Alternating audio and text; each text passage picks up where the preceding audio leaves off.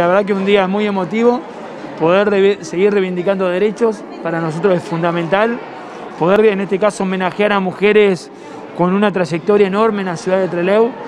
y principalmente por su protagonismo durante la pandemia, al mismo tiempo poner en valor todo lo que viene llevando adelante el municipio en políticas públicas, concretamente con la creación del área de diversidad de género que ya tiene una trascendencia en términos provinciales y nacionales, el Centro Integral de la Mujer, está en un lugar emblemático, como lo expresamos en el discurso, seguir trabajando con capacitación, no quedarnos solamente en un día, porque sabemos que es un día para poder reflexionar, para poder seguir reivindicando derechos y precisamente para que todas las mujeres sigan ganando espacio, en el buen sentido de la palabra. Esto no me refiero a un cargo político o un lugar de toma de decisión, sino principalmente en poder generar condiciones de igualdad en todos los aspectos. Hablando ahí con, las mujeres, este, emprendedoras, luchadoras, eh, que nos estaban diciendo que por ahí era el primer reconocimiento que han tenido en su vida, que era un día muy,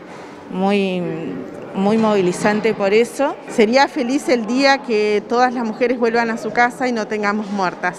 Como dije en el acto, este año, hasta el 28 de febrero, se notificaron 52 femicidios en toda la Argentina, casi los mismos días de lo que llevamos del año, un poquito menos, y la verdad que son cifras tremendas que necesitamos un compromiso real de, todos, todas y todes para contrarrestar la violencia de género, que no es que solamente el Estado municipal puede solucionar o llevar adelante situaciones, sino que es en un conjunto, en un trabajo en red con organizaciones del Estado, con organismos y también con asociaciones civiles para poder hacerle frente a esta pandemia, una real pandemia que es la violencia por motivos de género.